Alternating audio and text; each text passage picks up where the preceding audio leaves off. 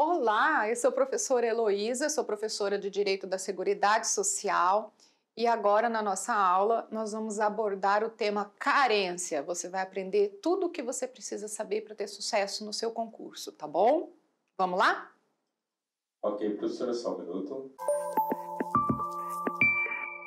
O que diz o artigo 24 da Lei 8.213 sobre a carência? Diz que carência é o número mínimo de contribuições mensais indispensáveis para que o beneficiário faça jus ao benefício, considerados a partir do transcurso do primeiro dia dos meses de sua competência. Pessoal, número é bom a gente guardar isso aqui, ó. Número mínimo de contribuições mensais, tá bom?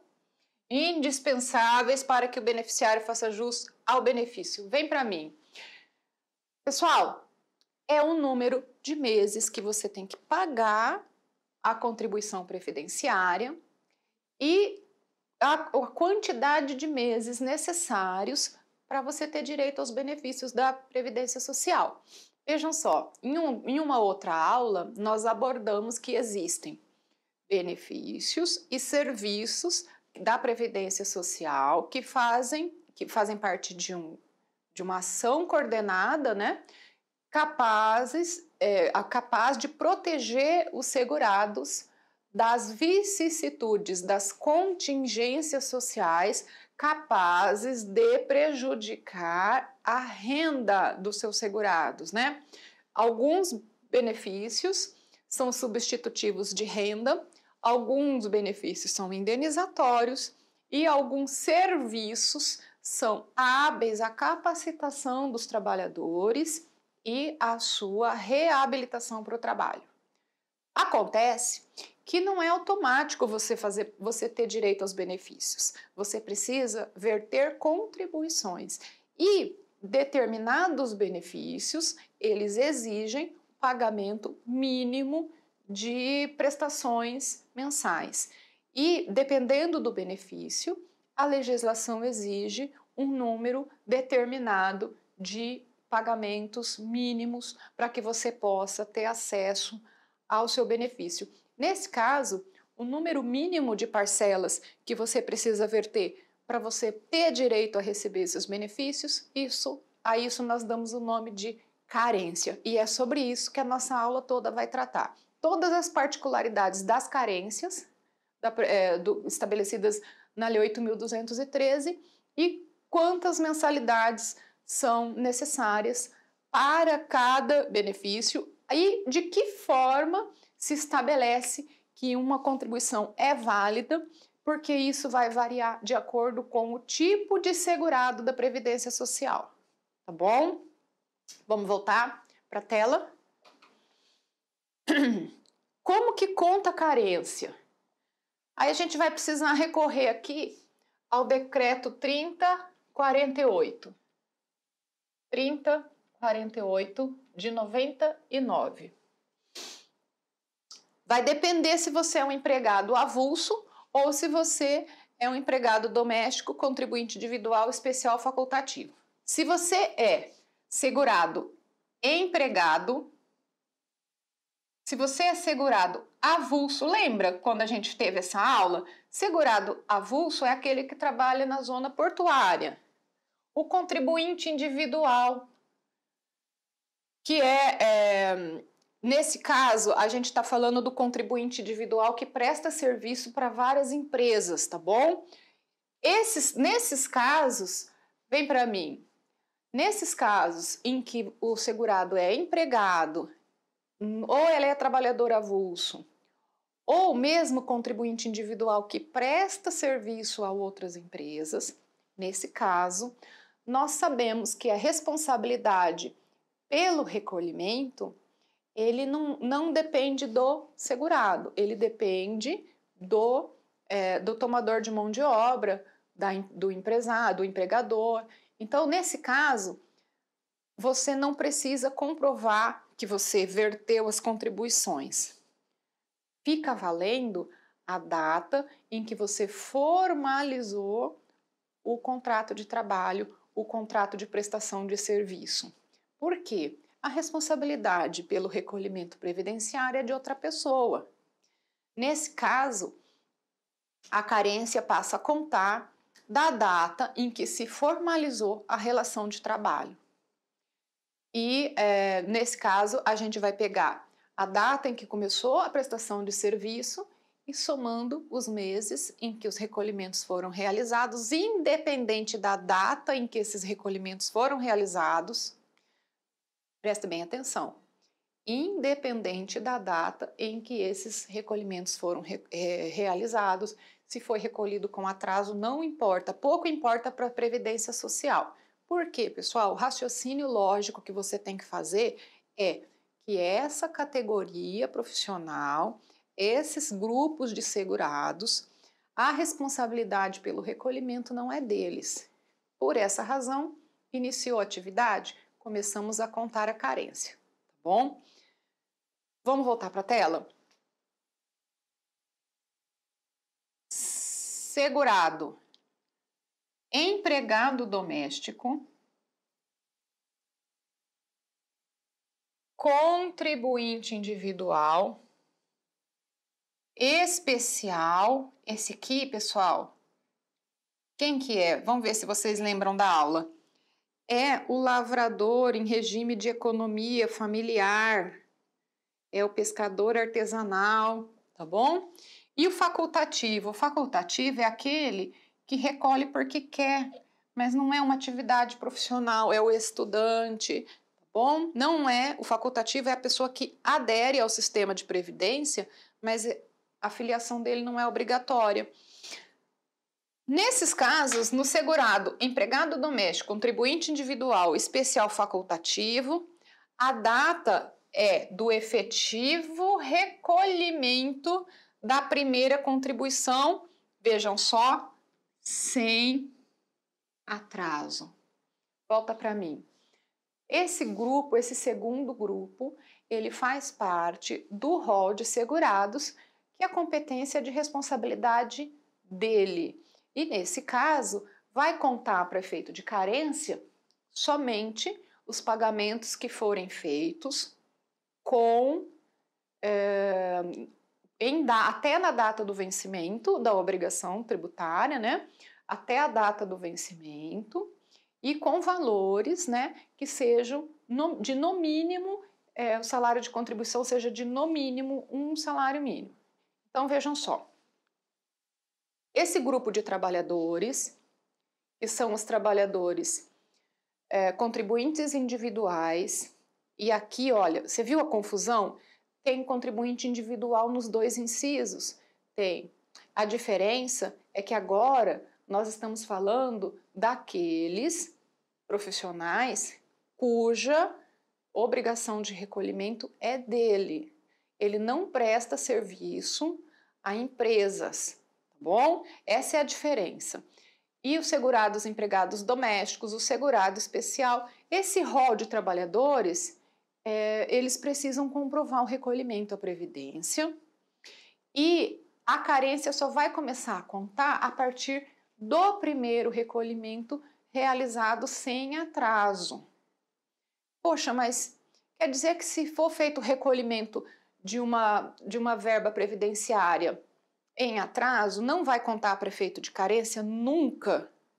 Pode contar.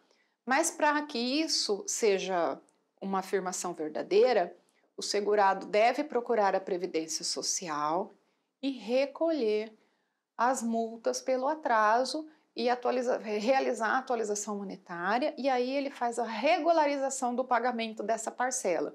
O mero pagamento em atraso não gera efeito para fins de carência, tá bom? Só vai gerar efeito para fins de carência a partir do momento em que os pagamentos forem regularizados. São gerados, é, geradas é, novos valores e esses novos valores gerados eles servem para cobrir o, as despesas referentes ao recolhimento em atraso.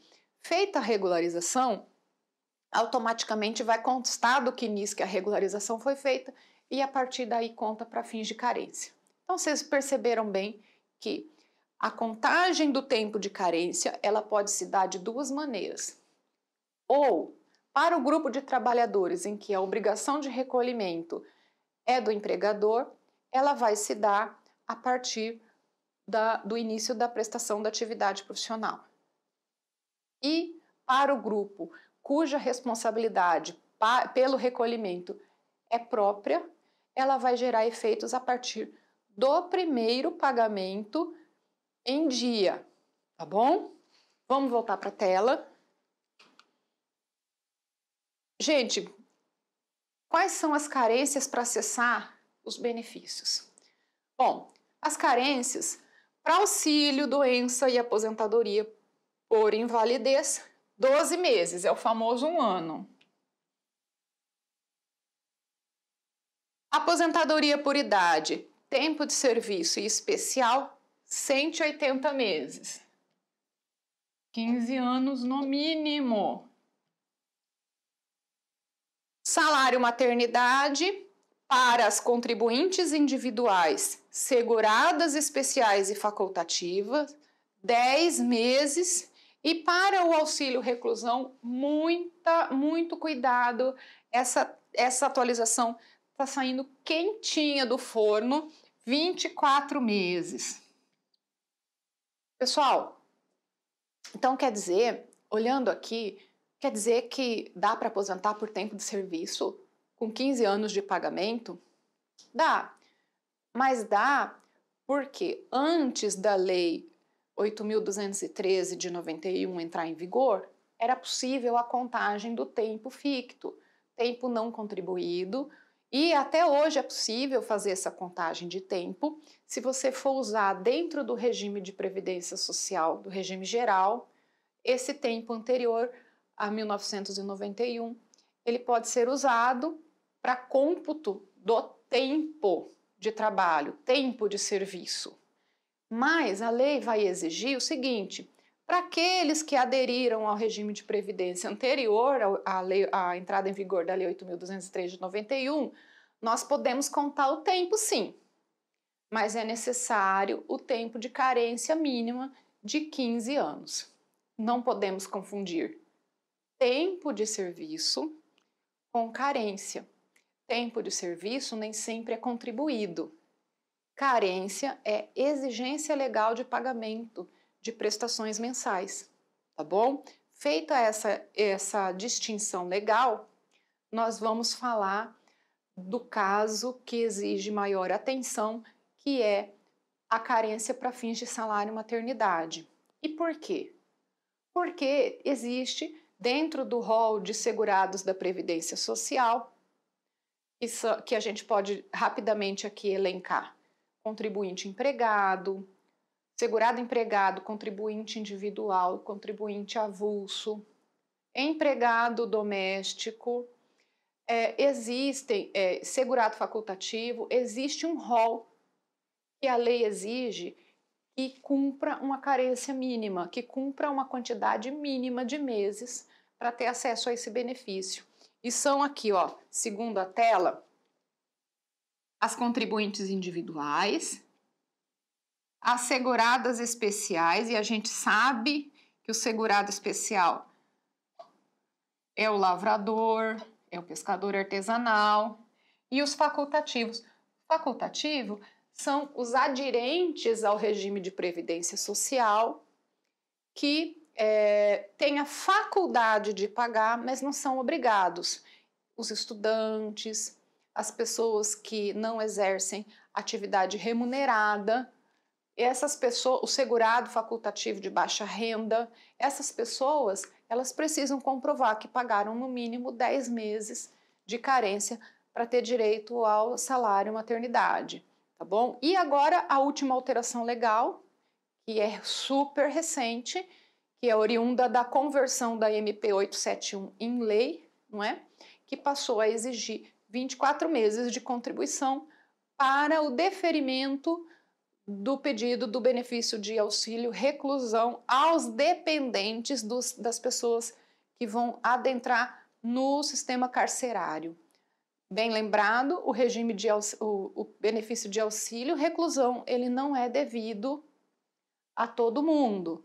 Não é devido ao preso, é devido aos seus dependentes aptos, que constam assim do rol de dependentes da Previdência Social, tá bom? E também é bom lembrar que a legislação nova estabeleceu um limite para acesso ao auxílio reclusão, e eu já vou lançar a ideia para vocês e mais para frente quando falarmos de benefícios, nós vamos tratar com mais profundidade, mas agora é as pessoas que, que vão ter acesso ao benefício de auxílio reclusão não podem receber mais do que o valor, o valor do salário de contribuição tem que ser, a renda tem que ser menor ou igual a um salário mínimo, tá bom? É uma alteração recentíssima da legislação e você que já começou os seus estudos é, para o concurso, vocês têm que voltar um pouquinho, dar dois passinhos para trás para ficar bem esperto com relação à atualização legal, tá bom? Vamos voltar para a tela.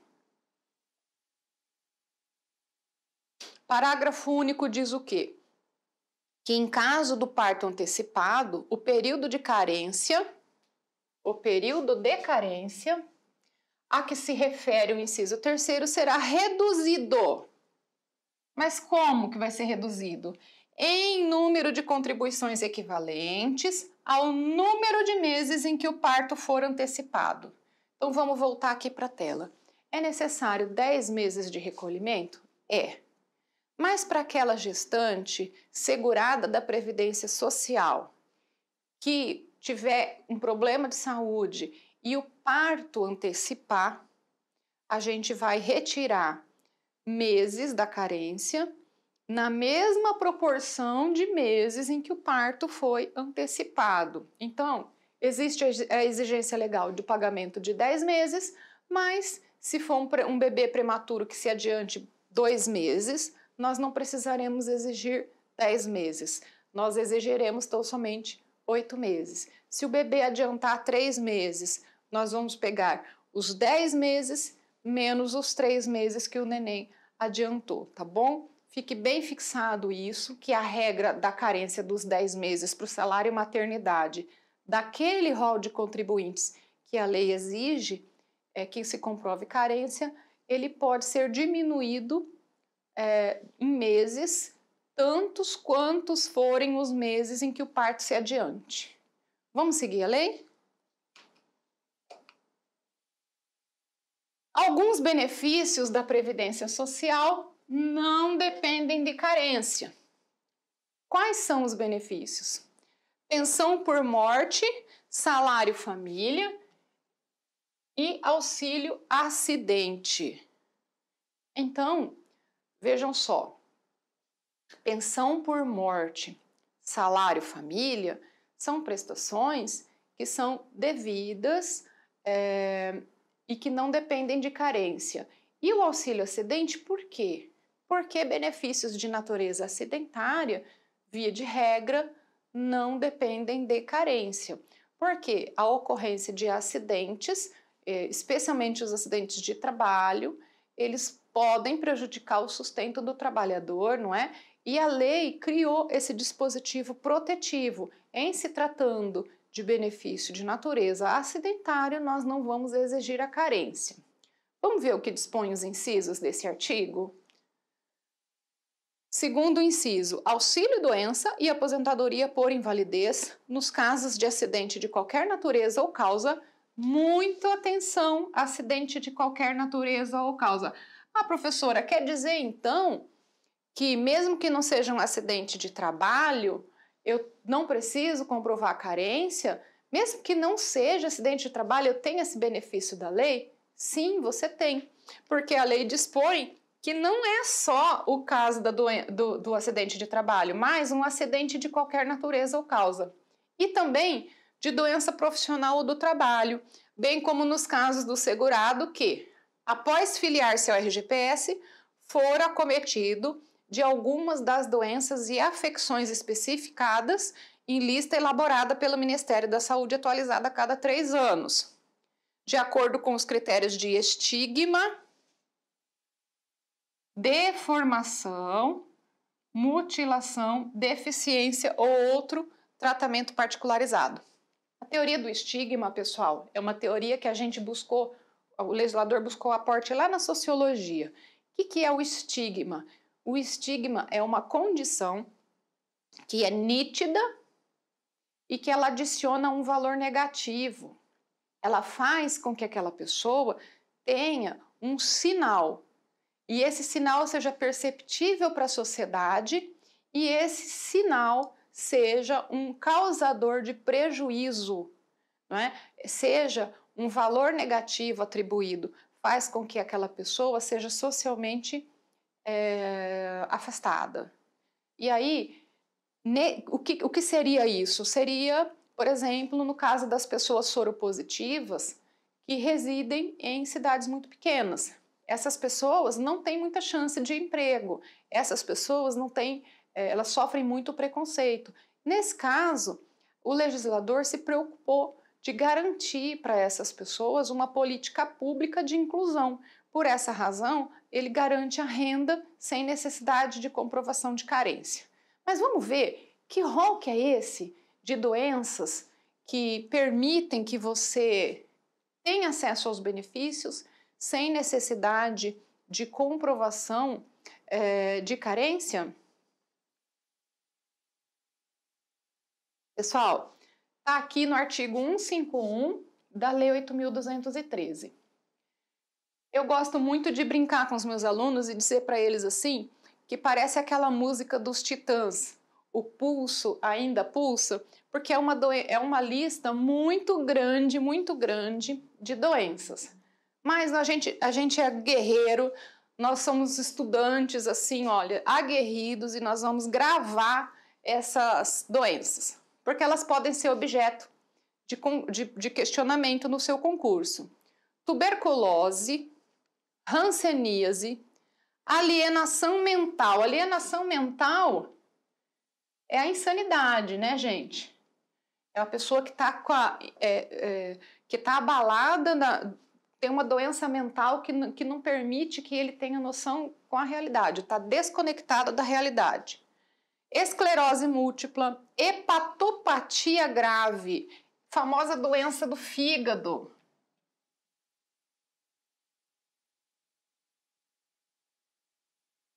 Cardiopatia, neoplasia. Neoplasia é um nome bonito para o câncer, tá? São os cânceres. Neoplasia maligna, cegueira, paralisia irreversível e incapacitante, cardiopatia grave. Cardiopatia é o nome bonito do problema do coração. Coração. Doença de Parkinson, espondiloartrose anquilosante. Nossa, que olha, você tá vendo? Cada nome difícil é um tipo de reumatismo que acomete, é uma doença muito particular, muito incapacitante, que gera muitas dores. Nefropatia grave. Nefropatia está relacionada ao rim. Estado avançado da doença de Paget, síndrome da deficiência imunológica adquirida, que é a AIDS, né? As pessoas soropositivas, ou contaminação por radiação com base em conclusão da medicina especializada. contaminação por radiação pode acontecer tanto por profissionais da saúde quanto por pessoas quanto pessoas moradores de determinada região. Lá em Goiânia teve o acidente do Césio.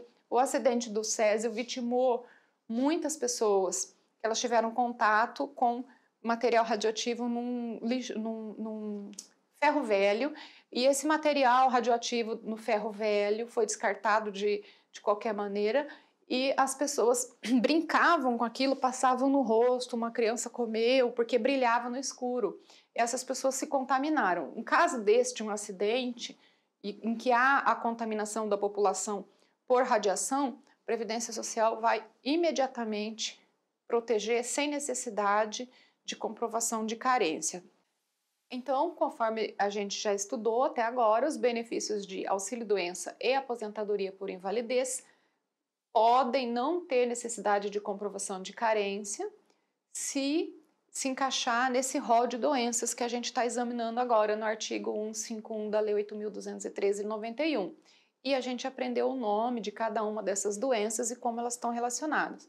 Vocês prestem bastante atenção, porque pode ser objeto do concurso uma, um questionamento nesse sentido, de dar o nome da doença e perguntar se há necessidade de comprovação eh, dos, das 12 contribuições, não é? Então, muita atenção. É muito importante, na lei, quando você está se preparando para o seu concurso, você, pelo menos, eh, se não for possível decorar o rol, pelo menos você ter uma noção ali, olha, uma doença grave no coração, uma doença no fígado, uma doença renal, a própria AIDS, a cegueira, tuberculose, tudo isso você precisa ter é, mais ou menos assimilado, porque tem diferença.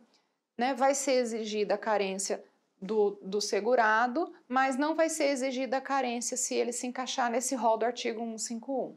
Vamos seguir com a lei?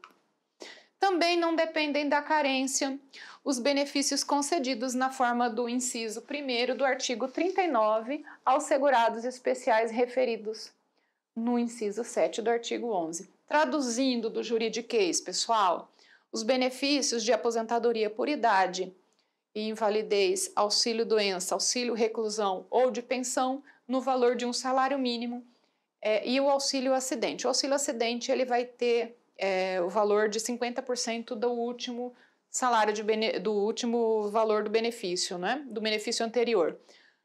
Então, não dependem da carência os benefícios de aposentadoria por idade, invalidez, auxílio-doença, auxílio-reclusão ou de pensão no valor de um salário mínimo e auxílio-acidente aos segurados especiais referidos. Segurados especiais, vocês que são os meus alunos, maravilhosos sabem que o segurado especial é o lavrador. O lavrador em regime de economia familiar, tá? Não é qualquer lavrador, porque pode ser empregado, segurado empregado rural também. Então, muita muita calma nessa hora. Lembre-se sempre que o segurado especial é aquele que exerce a profissão em, em, de maneira muito rudimentar. Seguindo com a legislação, não dependem de carência o serviço social, a reabilitação profissional, que é aquela capaz de devolver e qualificar o trabalhador ao mercado de trabalho, e o salário maternidade para seguradas, empregadas, trabalhadora avulsa e empregada doméstica. Essa classe de trabalhadoras, elas não precisam comprovar a carência para receber o salário maternidade, por quê? Porque a obrigação do recolhimento é do, do empregador. Então vamos lá, quais são elas? Quais são elas? Empregada, trabalhadora avulsa e empregada doméstica. Olha a pegadinha, olha a pegadinha, presta muita atenção, pode ser objeto do seu concurso. Salário maternidade precisa provar a carência? Em alguns casos, sim, em outros casos, não. Vai depender da condição da segurada. Que tipo de segurado que é? Se for empregada avulsa ou doméstica, não precisa comprovação de carência. Mas vamos voltar no quadro, gente, só para memorizar. Mas se for contribuinte individual, segurada especial e facultativa, vai ter que comprovar os 10 meses necessários para o acesso ao benefício do salário maternidade. Vamos voltar para o quadro, seguir com a lei e finalizar a aula. Como se dá o cômputo da carência? Como é que é feito o cômputo, a contagem? Primeiro, a partir da filiação. É necessário haver a filiação ao regime de previdência social. Primeira coisa que você tem que ter em mente. E de, dependendo da sua condição de segurado, a filiação, é, a, a, contagem vai se dar de forma diferente. Vamos acompanhar qual é? Ó, a partir da formalização da filiação para os empregados, os domésticos e os avulsos. Nossa, mas então esses aqui são aqueles em que a obrigação ela parte sempre do empregador tá? Aqueles cujo recolhimento depende do empregador, eles a carência começa a contar a partir da formalização da filiação, a partir da contratação. A partir e também pode se dar a partir do primeiro recolhimento sem atraso para contribuintes individuais, especiais e facultativos, que são aqueles que são responsáveis pela, pelo recolhimento previdenciário. Então, muito, muito cuidado. Você precisa memorizar e vocês precisam ter bem, bem assimilada a aula de segurados, tá? Porque se você não souber fazer a diferença entre as classes de segurados, você pode dar a resposta errada num questionamento aqui no concurso, tá bom? Tendo finalizado aqui a aula, a gente vai passar para alteração legal só para só acabar aqui, só para acabar. Agora, essa semana, teve uma alteração importante na conversão da MP 871 para a lei.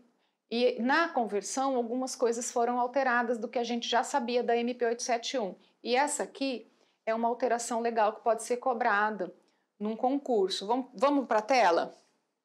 Na hipótese da perda da qualidade de segurado, para fins de concessão de benefícios de auxílio doença e aposentadoria por invalidez, salário maternidade, auxílio reclusão, o segurado deverá contar, a partir da data da nova filiação à Previdência, metade dos períodos previstos.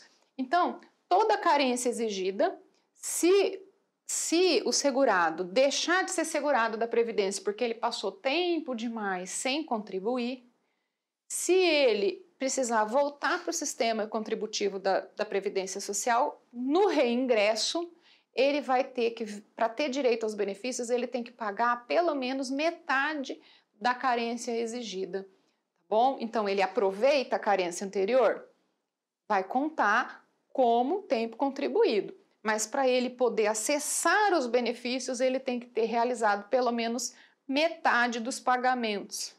Tá bom?